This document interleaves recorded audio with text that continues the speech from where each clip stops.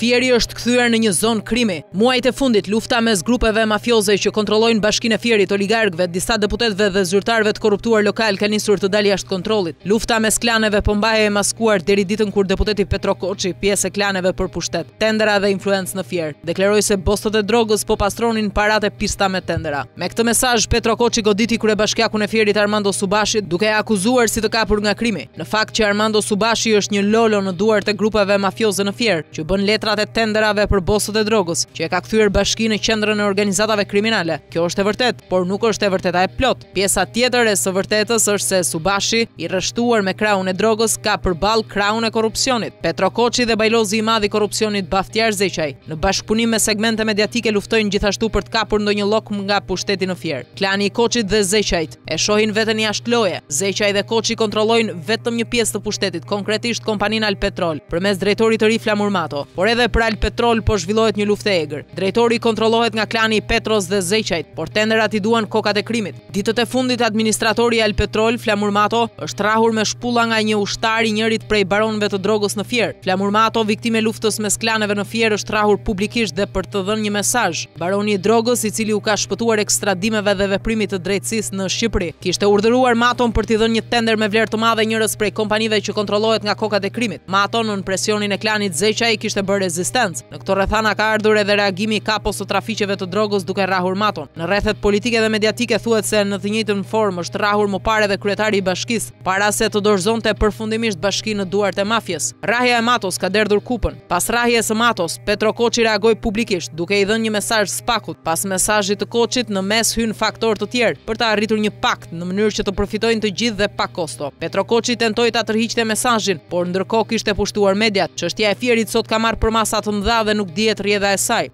SPAK ka thirrur Petro Koçin për të dëshmuar. Sipas burimeve, Petro Koçi nuk ka rrëfyer të vërtetën e përplasjeve mes klaneve në Fier, por ndërkohë SPAK mësohet se ka nisur sekuestrimin e dosjeve të tenderave.